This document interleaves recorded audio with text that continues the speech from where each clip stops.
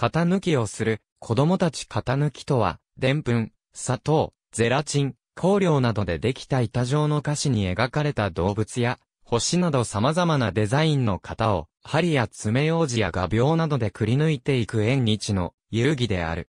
型を割らず上手にくり抜くことができれば、型のデザインの難易度に応じて景品がもらえたり、数百円の賞金が返金される。型ごとのデザインにもよるが、基本的には難易度は高めであり、攻略法を知らない子供の成功率は数パーセント程度である。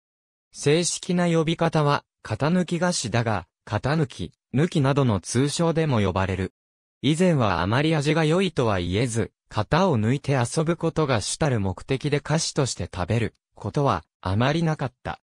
しかし、2012年頃からは、ラムネ味や、ブドウ味といった風味付けがされた商品を展開しており、遊ぶだけではなく食べることにも力を入れている。もともとは、縁日で、敵屋が出す屋台の一つとして定着していており、1976年には、紙芝居の余興の一つでもあったが、遅くとも2003年以降には見かけることが少なくなりつつある。屋台のほか、駄菓子屋やスーパーマーケット、ショッピングモール、量販店、通信販売などでも売られている。